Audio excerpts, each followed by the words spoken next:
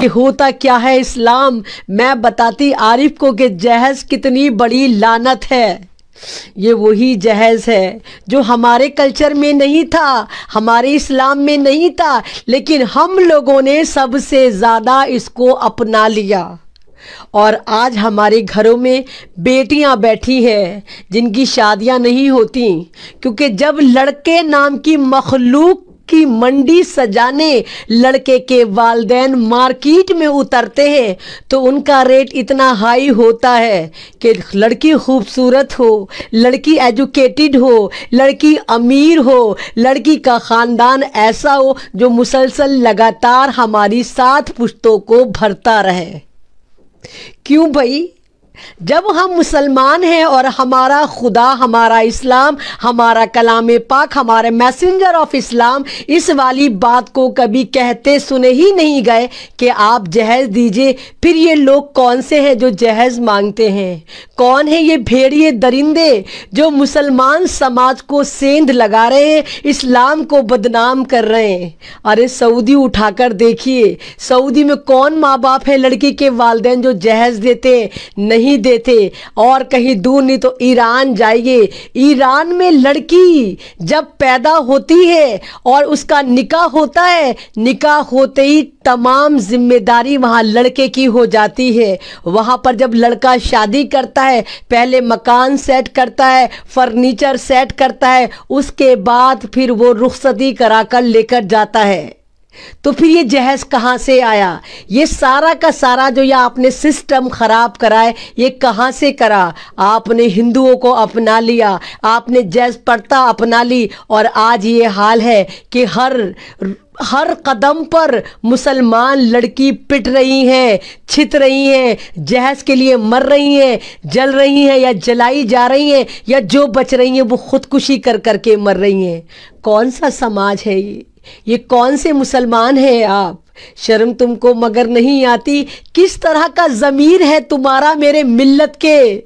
नौजवानों, कि तुम अपनी बीवी के डबल बेड पर बैठकर उसको देखते हो, उसके साथ जीने मरने की कसम खाते हो। अरे, जो नौजवान अपनी कमाई का बेड नहीं खरीद सकता, वो दावेदारी करता है बैठकर कि हाँ मैं तुम्हारे साथ ज़िंदगी गुजारूँगा, तुम्हारे हर कदम पर साथ रहूँगा। अरे, जो मर्द, इतना बड़ा मर्द हो को, कि अपने बेड तक के लिए उसके पास पैसे ना हो, बीवी के रहम करम पर बैठ के उस मखमली बिस्तर पर आप कस्में खाते हैं? नहीं है आप मिल्लत के अलमदार।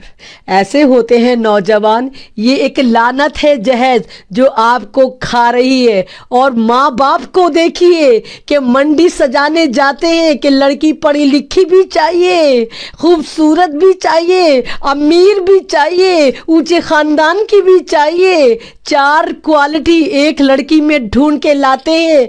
जॉब करवाते हैं, उसके बावजूद वो घर की जिम्मेदारियाँ भी पूरी करती है, टर्कों में जहेज भी भर के लाती है, सारी ज़िंदगी ताने तिशने सुनती है। नहीं कहता मेरा इस्लाम इस बात को कि आप बीवी की कमाई पर पले, नहीं कहता मेरा इस्लाम कि आप बीवी की कमाई पर अपनी ज़िंदगी गुजारें, अपनी बहनों की ज़िंदगी गुजरवाएँ। शादियाँ नंदों की होती हैं, टेटवा बीवी का दबाया जाता है, जा लेकर आ तेरी नंद की शादी है और बहुत जगह तो ऐसा होता है जनाब कि उस लड़की का जहेज उठाकर उसकी नंदों को दे दिया जाता है। ये समाज है। फिर आप कहते हैं, हमारे ऊपर जुल्म कर रहे हैं। हमारे ऊपर जुल्म हो रहा है। खुदा हमसे नाराज़ हो गया। बादशाह हमसे नाराज़ हो गया। प्रधानमंत्री हमसे नाराज़ हो गया। चीफ मिनिस्टर हमसे नाराज़ हो गया। कोई नाराज़ नहीं हुआ। हमसे हमारा खुदा नाराज़ हो गया। क्योंकि हमने अपने खुदा को भूल दिया। हमने अपने खुदा की तालीमत को छोड़ दिया। हमने कलाम पाक की तालीमत को नज़रअंदाज कर दिया। हमने इस इस्लाम के उस पहलू को नज़रअंदाज कर दिया जो हमें इंसान बनाता है, मोमिन कामिल बनाता है। नहीं कहता मेरा कलाम पाक। मेरा कलाम पाक क्या कहता है? साहबा इकराम की ज़िंदगी उठाकर देखो। क्या करते थे साहबा इकराम? अगर कहीं जा रहे होते थे, वही खड़े खड़े निकाह हो जाता था। क्या हुक्म है इस्लाम में औरतों के लिए, लड़कियों के लिए निका के लिए कि अगर आपके मकान के नीचे से फजीर के वक्त कोई नौजवान जा रहा हो और आपके घर में बेटी हो, अगर वो नौजवान सही हो तो उससे निका कर दीजिए। कहाँ कहता है मेरा कलाम पाक के बीस बीस लाख के होटल करिए, करोड़ों करोड़ों की शादी करिए, सारी ज़िंदगी ईदी बकराईदी त्योहारी, चुचक, ये वो दे दे के आप लड़की की मंडी सजाइए। कहाँ कहता है कलाम पाक ये तो आयशा आरिफ की एक मिसाल है कि आयशा आरिफ को आप देख पाए। पता नहीं कितनी आयशा आरिफ होती होंगी जो लुकमा अजल बन जाती होंगी इन जहेज के भेड़ियों की वजह से। हमें दुश्मनों की क्या ज़रूरत? नहीं हमें दुश्मनों की ज़रूरत। हमारे घर में खुद इतने दुश्मन मौजूद है, सासों के नाम पे, नंदों के नाम पे। आप देखिए, जहेज के लिए कितनी लड़कियों को जलाया जाता है। ओखला में आए दिन लड़कियाँ जलती हैं, मरती हैं। आए दिन जलती, मरती हैं। जलाने वाले कौन होती है? वही माँ जो सास होती है। वही औरत जो नंद होती है। वही देवरानियाँ, वही जिठानियाँ जो मिट्टी का तेल डालकर उस पर आग लगा देती है। ये कौन सा मज़हब है हमारा? हमारा कलाम पाक ये कहता है, हमारे मोहम्मद सल्लल्लाहु अलैहि वसल्लम की ये तालीम थी ये तालीम थी हमारी तो कौन सी कौन सी तरफ़ हम जा रहे हैं? कौन सी तरफ़ अपने समाज को लेकर जा रहे हैं? कौन सी तरफ़ अपनी बेटियों को लेकर जा रहे हैं? बहुत अच्छी बात है आपके पास पैसा है। अल्लाह पाक हर मुसलमान के पास पैसा हो, साहिब हैसियत हो। लेकिन क्या आप उसका सही इस्तेमाल कर रहे हैं? आपने खुद खुद आपने उन लोगों को मुँह लगाया, करोड़ों करोड़ों की शादियाँ करके। आपने सादगी छोड़ दी, आपने शो ऑफ़ चुन लिया, आपने मंडियाँ सजाई। बीस बीस हज़ार बीस बीस लाख के दुल्हनों को सूट चढ़ाए जाते हैं, बनाए जाते हैं, वीडियोग्राफी होती है और उसका रिज़ल्ट क्या निकलता है? जो जो गरीब समाज की लड़कियाँ होती हैं, वो घर बैठी बैठी बूढ़ी हो जाती है, उनको कोई भी आने नहीं आता। क्योंकि सबका जो स्टैंडर्ड होता है, अगर रक्षा वाला भी होता है तो वो ख्वाब देखता है, मलका का, वो ख्वाब देखता है, उस स्विट्जरलैंड की तिजोरी का, जो उसके घर में बहू बनकर आएगी, दुल्हन बनकर आएगी, सारी ज़िंदगी उनका पेट भरेगी, उनको भर भर के ला जहेज देगी, कभी ईदी के नाम पे लाएगी, कभी बकराईदी के नाम पे लाएगी, बच्चा वो पैदा करेगी छुचक घर से आएगा। कौन सा इस्लाम कहता है ये? ये औरत है। अरे, ये तो औरत होती है मेरे भाइयों, बहनों, जो तुम्हें फ्री में मिलती है। अपना घर छोड़कर आती है, अपना खानदान छोड़कर आती है, अपने रिश्ते छोड़कर आती है और तुमसे कुछ डिमांड नहीं करती। तीन लफ्ज होते हैं निकाह के। हाँ मैंने कबूल किया। हाँ मैंने कबूल किया। हाँ मैंने कबूल किया। और सारी ज़िंदगी गुलामी कबूल करती है। उसकी ज़िंदगी में कोई हॉलीडे नहीं आता। कोई संडे कोई सैटरडे नहीं आता। क्या करती है वो? सुबह शाम तुम्हारी गुलामी करती है। तुम्हारे घर वालों की गुलामी करती है। तुम्हारी नस्ल को आगे बढ़ा के बच्चे पैदा करती है। बच्चों को पढ़ाती है। और अगर वर्किंग हो तो जॉब भी करती है, और फिर भी तुमसे जूते पिटती है। वो जूते ज़रूरी नहीं कि सचमुच के जूते हो, लफ्ज़ों के जूते पिटती है कि तू कर क्या रही है? तू कोई इकलौती औरत नहीं है जो तू जॉब करती है। ये तो मेरा एहसान है कि मैंने तुझे इतनी आज़ादी दी कि तू जॉब कर ले। यानी वो औरत जो कमा कर ला रही है, उस पर भी शोहर की शोहर की देखिए कितनी ज़बरदस्त एहसान मंदी होती है कि ये तो मैंने तुझे आज़ादी दी। तो वो पैसा कहाँ खर्च करती है? वो पैसा शोहर लेता है, उसके बच्चे लेते हैं, ससुराल वाले लेते हैं। एक औरत तेरी ज़िम्मेदारी अदा करती है, ऑफ़िस भी देखती है, घर भी देखती है, लोगों को भी देखती है और फिर भी कहते हैं कि नहीं, तू एक अच्छी बीवी नहीं बन पाई। कौन सा समाज है ये?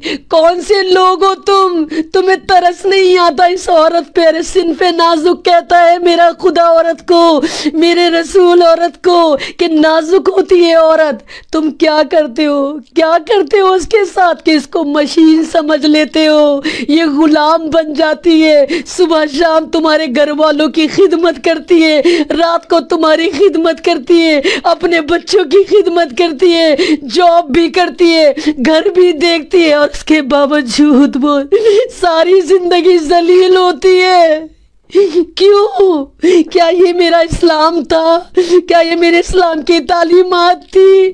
क्या आयशा आरिफ ने सही करा? कौन जिम्मेदार है आयशा आरिफ का? उसका शोहर से ज़्यादा तुम जिम्मेदार हो। ये समाज जिम्मेदार है। जिसने आरिफ की नाक में नकेल नहीं डाली, कितनी मजबूर होगी वो आयशा जो मुस्कुराते हुए खुदकुशी कर गई। वो हंस रही थी। वो इसलिए नहीं हंस रही थी, वो तुम्हारे पे हंस हंस रही थी। वो समाज पे हंस रही थी कि देखो, समाज वालों में तुम्हारी बेटी थी। मैं इस मिल्लत की अमानत थी और आज मैं तुम्हारी वजह से मर रही हूँ। उस नदी में कूद के मर रही हूँ, जिसमें तुम्हें डूब के मरना चाहिए था। बेगैरत मुसलमान नौजवानों, कहाँ है तुम्हारी गैरत? कौन से मुसलमान हो तुम लोग? शर्म तुमको मगर नहीं आती। बेशर्मो, निका का सूट भी तुम लड़की वालों का पहन कर आते हो। इतने बड़े गुलाम और हुकूमत करते हो उस डेढ़ पसली औरत के ऊपर, उस बीवी के ऊपर, उस उस बेटी के ऊपर, जो जिसके माँ बाप बिक जाते एक शादी करने में। और उसके बावजूद तुम्हारी गैरत नहीं जागती। कितनी आयशा आरिफ खुदकुशी करेंगी, कितनी आयशा आरिफ खुदकुशी करती हैं। क्यों करती है ये? क्योंकि तुम लोग, हमारे नौजवान लोग, सब भूल चुके सबको पता है जब शादी होगी तो खजाना चल कर आएगा, कानून का खजाना चल कर आएगा। अरे, एक शादी का कर्जा उतारने में लड़की वालों के हवा निकल जाती है, कर्ज के तले तब जाते हैं, एक बेटी की शादी करते अगली बेटियों का इंतज़ार करते कि पहला कर्ज अदा हो जाए, तब दूसरी शादी करेंगे। किस तरह के नौजवान हो तुम? अरे, अल्लाह ने तुम्हें नौजवान बनाया, अपने कुत बाजू पे यकीन तो करके देखो, करके तो देखो कि हर चीज़ तुम ससुराल पे डिपेंड होकर क्यों सोचते हो। जॉब तुम्हें वो दिलवाए, घर तुम्हें वो दिलवाए, घर में सामान तुम्हारे वो भरवाए, बच्चा तुम्हारा पैदा हो, खर्चा वहाँ से उठे। कौन से नौजवान हो तुम? कौन सी मिल्लत की अमानत हो मेरे नौजवान, मुसलमान नौजवान? इस तरह के होते, कायर हो गए हो तुम।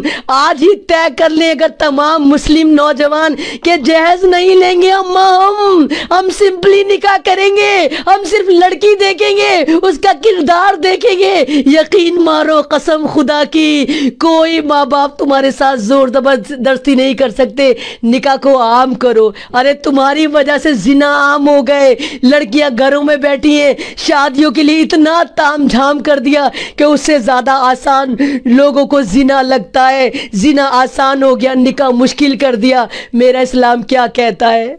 मेरा इस्लाम कहता है निका को आसान करो, जिना खुद ख़त्म हो जाएगा। तुमने क्या करा? तुमने निका को मुश्किल तरीन कर दिया और जिना को आसान कर दिया। अरे करके तो देखो कितना सुकून होता है निका के अंदर। करके तो देखो सादगी में जब चार लोगों को अंदर, चार लोगों के साथ तुम उस लड़की को लेकर आओगे तो तुम्हारी रूह कितनी खुश होगी, तुम्हारा ज़मीर कितना खुश होगा।